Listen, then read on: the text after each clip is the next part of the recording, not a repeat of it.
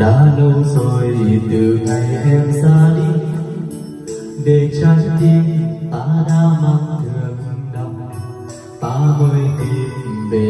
đời lại chốn cũ, tìm chốt phương của cuộc tình xưa. Trong cuộc đời nào được như ý muốn nhiều lúc yêu thương đã không tròn vẹn liên chấp nhận cuộc tình chia hai đôi, còn yêu kéo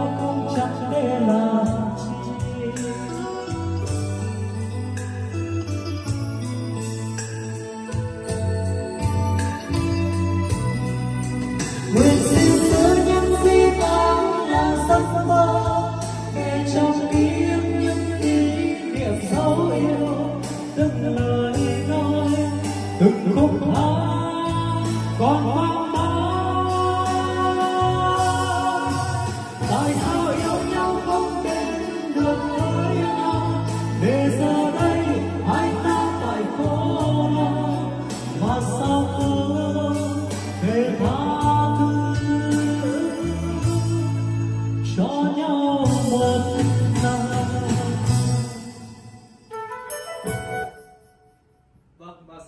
xin mời các bác cùng trải nghiệm một đoạn nhạc ca khúc uh, ở nhạc 1975 này để nghe xem cái tiếng tép và tiếng súp đánh như thế nào các bác nhé.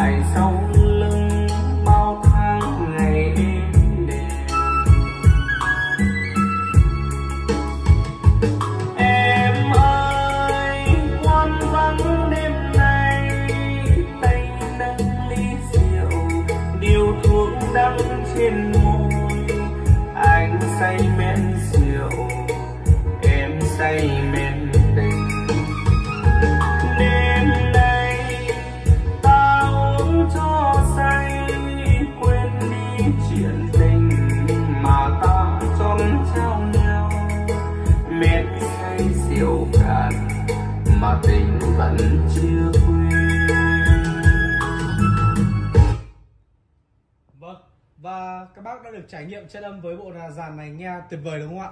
À, về chất nhạc của em nó phải nói là tiếng tép đánh rất là chi tiết này, tách bạch này và sáng. Đấy các bác ạ, sử dụng chất neo đánh tiếng rất là sướng và phê luôn. Và súp thì đánh cũng rất là uy lực này, đầm và chắc tiếng các bác nhé. Đấy. Và hát karaoke rất là nịnh tiếng luôn Đấy, sử dụng chiếc vang cơ lai số KM350 Pro V2 Phải nói chất âm của em nó Cái phần reverb và echo Cái tiếng của em nó rất là nịnh tiếng và dễ hát Đấy các bác nhé và các bác có nhu cầu về những sản phẩm trên Thì có thể là gọi điện trực tiếp qua số hotline giúp em nhé. Và em xin kết thúc clip tại đây Và xin thân ái chào tạm biệt tất cả các bác ạ. Dạ vâng, em Hùng xin kính chào toàn thể các bác và anh em yêu âm thanh trên mọi miền Tổ quốc. Và cũng sáng ngày hôm nay thôi thì em cũng nhận được một cuộc gọi từ anh Lê Duy Sánh Có địa chỉ tại Thường Kiệt, Vũ Lăng, Tiền Hải, Thái Bình. Và anh có nhờ em tư vấn một combo bộ dàn mức đầu tư là gần 30 triệu đồng Đánh cho không gian phòng khoảng tầm độ là 30 mét. Đấy, thì sau khi nghe em tư vấn thì anh cũng đã chốt cho mình bộ giàn với mức đầu tư chỉ có là 26 triệu 650 ngàn đồng. Đấy thì ở đây đang phối ghép cho anh là loa và súp sẽ là hàng bãi còn đẩy vang mic thì sẽ là hàng mới nhập khẩu chính hãng của anh là hai năm.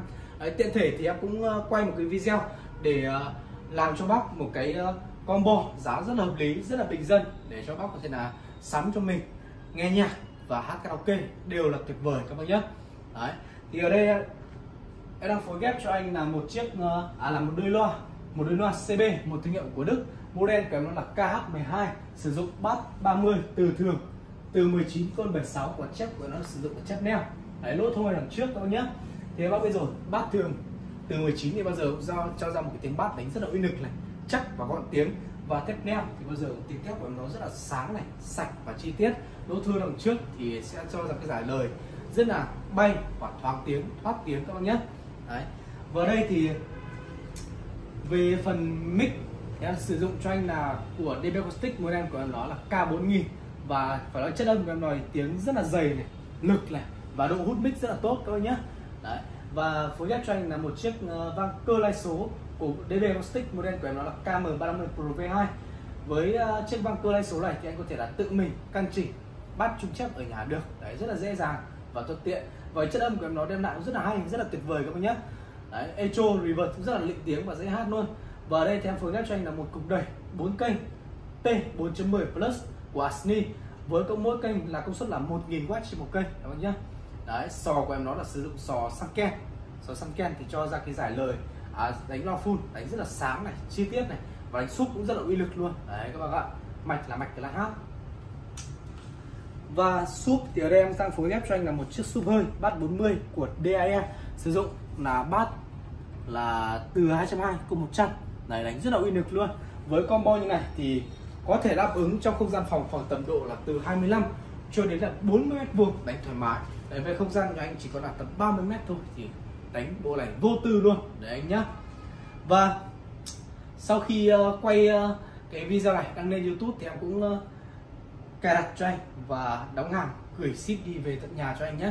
Và chúc anh và gia đình có thật nhiều sức khỏe và hát thật là tuyệt vời trên bộ dàn chỉ có là 26 triệu 650 ngàn đồng này nhé. Và sau đây thì xin mời các bác cùng trải nghiệm chất âm với bộ dàn mức đầu tư rất là êm, rất là dễ chịu này nhé. Và sau đây thì em sẽ hướng dẫn anh về cách ờ, kết nối ờ, bộ dàn này nhé. Thì đầu tiên thì anh sẽ kết nối cho em là từ ờ, mic này xuống vang. Thì ở đây nó sẽ có cái phần uh, à, mix out này. Thì anh sẽ lấy cho em một cái cặp uh, rắc 6 ly nhé anh sẽ cắm cho em vào cổng mix out này. Và ở trên và ở dưới vang thì ở đây sẽ có cổng là mic 1 input và mic 2 input. Thì anh cắm một trong hai cổng đều được cả anh nhé mic 1 mic 2 đều được cả. Đấy. Thế là xong phần mic rồi nhá. Thì còn dây nguồn thì anh về anh sẽ cắm thêm vào cái rắc đây. À vào cái ờ, cổng đây. Và để kết nối từ ờ, vang xuống đây để ra loa thì anh sẽ chuẩn bị cho em là hai cái dây ca lông này. Đây.